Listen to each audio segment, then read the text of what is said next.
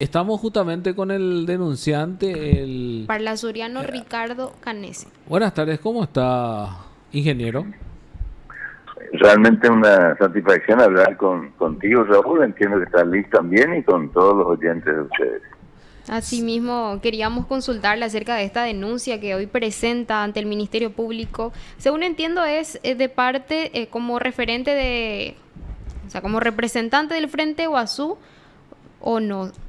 ¿No sería esta denuncia? Sí, sí es como, junto con el compañero Elmo Rodríguez, ¿no es cierto?, que él es candidato también por la lista del Frente Guazú, Ñamonguetá, presentamos como dos candidatos, él está en la opción eh, 8, yo estoy en la opción 45 y presentamos esta denuncia que habíamos presentado ya antes la Contraloría, ¿no es cierto?, la Contraloría General de la República, entendemos que hay méritos para que la Fiscalía intervenga ya en el tema, pues se trata de un hecho extremadamente grave, como es la autocontratación del presidente de la República a sí mismo, ¿no es cierto?, en una adjudicación además enteramente ilegal.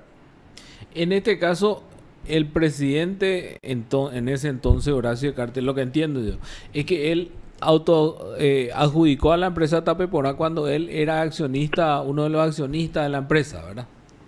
Así es, ¿eh? eh, y nos enteramos ahora, por eso nosotros denunciamos como un hecho nuevo, que esto se pudo saber en, hace una semana apenas, cuando justamente fue eh, calificado como significativamente corrupto y comenzó a vender sus acciones apresuradamente en todas sus empresas, bueno, y allí este, un cable una agencia internacional consignó que efectivamente le estaba vendiendo las acciones que tenía en Tapépona. y Tapépona fue eh, una propuesta de él aprobada por el Congreso, un Congreso que hay que decir, hay toda la evidencia que se ha vendido, que él lo ha comprado, ¿no es cierto? Y que, bueno, eh, finalmente él se autocontrató también con el apoyo de su ministro de Obras Públicas, Ramón Jiménez Gaona, hijo, que eh, aparecía en ese momento que la concesión iba a, iba a ser a favor de la empresa de su padre, o sea, de hecho ya una autocontratación a nivel de su ministro, pero que ahora nos enteramos que está involucrado él porque ya es una información, es un hecho oficial, ¿no es cierto?, que él comenzó a transferir sus acciones en esta empresa. Pero además esta esta autocontratación tiene otras ilegalidades muy graves, como el hecho de que no hubo licitación, cuando que la ley claramente dice que no se puede prorrogar un contrato de concesión, sino que se tiene que licitar o bien tiene que pasar a manos del Estado, en este caso del Ministerio de Obras Públicas. Entonces se violó claramente la ley de concesiones públicas, el propio contrato que establecía también algo similar, y encima de todo eso, se le otorgó a Tapeporá unos siete años antes que venza la este la concesión que venía ejerciendo por 25 años, entonces siete años antes, y la ley eh, de concesión también es muy clara que no puede otorgarse una concesión por más de 30 años. Y bueno, se le otorgó por 37 años, otro hecho extremadamente grave. O sea, acá se acumulan una serie de violaciones al, a la eh, legislación vigente y nada menos de quien fuera presidente de la República. Por eso entendemos un hecho grave y que la Fiscalía debe imputar de inmediato al expresidente Horacio Cartes e incluso incautar los bienes de esta empresa, la recaudación de esta empresa y toda la administración de la empresa que debe pasar a mano de Obras Públicas para precautelar justamente los intereses de los usuarios que soportan un peaje muy alto, fuera de toda norma técnica, económica, y que además este, los, intereses del mismo Estado que están también en juego. En este caso, ingeniero, eh, él, esta misma empresa es la que había sido adjudicada durante el gobierno de Juan Carlos Guasmosi, entiendo. Así es, así es. Y antes de que cumplan los 25 años, por por 25 años, 7 años antes se le adjudica por otros 30. Pero no entiendo por qué 37. O sea, iba a esos 30 iban a correr recién cuando terminasen los 25. Claro, claro. Y eso es una, ah. nueva ilegalidad porque eh, la ley dice que no se puede adjudicar. Ya era una nueva eh, adjudicación. En todo caso, se le tenía que haber adjudicado desde el 2016 hasta el 2046 y no, se le adjudicó hasta el 2053, o sea, siete años más, ¿no es cierto?, en forma enteramente, 87 años está en un plazo claramente prohibido por la ley. Y usted habla de, estafa, ingeniero, en, en, su denuncia hay otro hecho punible que acá también se, se está pidiendo imputación.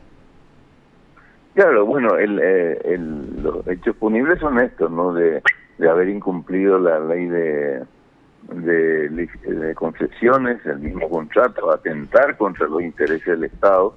Acá se presume una asociación ilícita para delinquir, ¿no es cierto?, entre él, su ministro, el padre del ministro, eh, una operación encubierta de asignarse o autoasignarse acciones eh, a través de la, el pago no de esas acciones, pero a él mismo, ¿no es cierto? Realmente hay una cantidad de, de, delitos cometidos en esta en esta autoadjudicación que hizo Cartes a favor de sí mismo. Y además una cuestión técnica que señalamos también en la presentación, porque se aplican eh, peajes altísimos y no es una autopista, un peaje propio, una autopista, una autopista es una vía que permite mantener la velocidad sin ningún cruce a nivel, todos los cruces son a desnivel, tanto con peatones como con vehículos, entonces tiene alta seguridad para los peatones y para los vehículos. Esta no, es eh, los, los pasos peatonales son a nivel con lomos de burro, una barbaridad, ¿no es cierto?, para una algo que pretende ser una autopista. Eh, los cruces también con los vehículos son totalmente a nivel. Eh, si uno va a cualquier autopista de la región, de China, Argentina, Brasil o, de cualquier otro país, eh, uno puede mantener la velocidad porque no hay ningún cruce a nivel.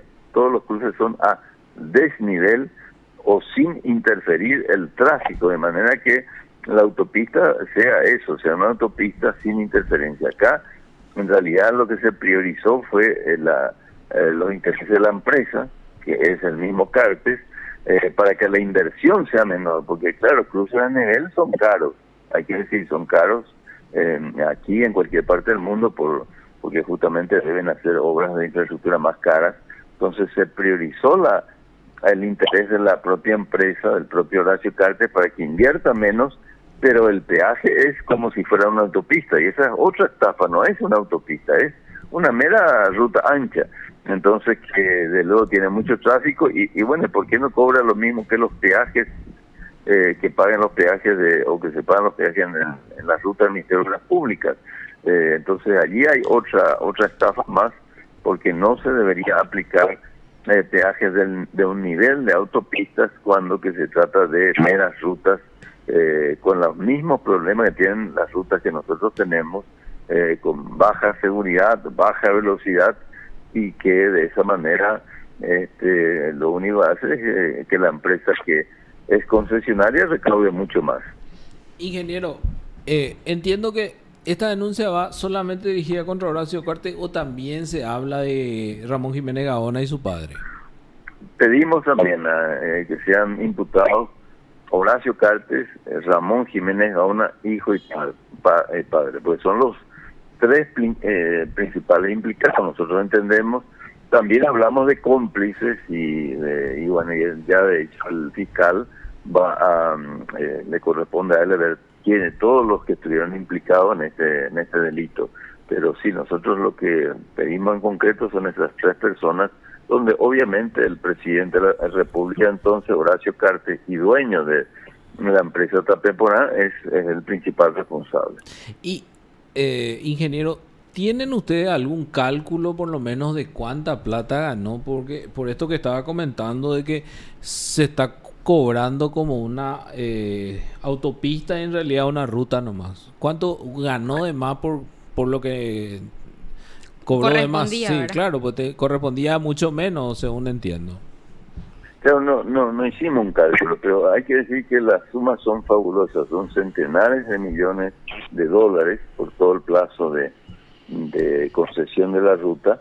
Y es otra de las cosas que le pedimos a la, a la Contraloría primero y ahora a la Fiscalía también, que determinen cuál es, es el daño patrimonial para el Estado y el daño también patrimonial para los usuarios que soportan esta, esta muy mala solución y que va a quedar por décadas va a quedar esta solución porque ya hacer una autopista allí va a ser no, no, digo imposible pero muy difícil porque se han dado soluciones eh, pésimas que están en terreno y habría que hacer una inversión de, de, de, gran envergadura para hacer lo que se tenía que haber hecho entonces eh, yo creo que ya va a corresponder al, en la medida que se abra esa investigación tanto eh, de parte de la Contraloría como la Fiscalía para determinar el daño que ha sufrido ojo, el país, ¿no es cierto?, el Estado paraguayo, el usuario, ¿no es cierto?, eh, y, eh, por ejemplo, uno de los, de los daños más evidentes que yo te, voy a decir y que generalmente se estudia en la ingeniería de, tráfico y de transporte, es la demora, ¿no es cierto? La, de hecho, muchas de las, de las grandes inversiones en materia de, de autopistas o inversiones se justifican porque evitan la demora, el mayor tiempo de viaje. Porque ¿cuánto cuesta que una persona eh, llegue una, dos, tres horas más tarde? O la carga o el, empresa de, de ómnibus, eh, en fin, desde el ciudadano más humilde que utiliza una moto hasta el, el eh, digamos las cargas más importantes que circulan por esa carretera. Entonces, acá hay una estafa de de gran dimensión que tiene que ser calculada en forma precisa por un equipo especializado y donde nosotros simplemente apuntamos lo que hay que hacer, pero no no no no, este, no, no tuvimos de hecho el, el, tiempo ni los recursos para hacer esa investigación que tiene que hacer, ser hecha con mucha precisión. Sí. Muchísimas gracias, ingeniero, por su tiempo, muy amable por sus explicaciones. Bueno, muchas gracias a usted y a las órdenes siempre. Muchísimas gracias, hasta luego. Usted está escuchando PDS. Así hablábamos con el ingeniero Ricardo Canese, es el de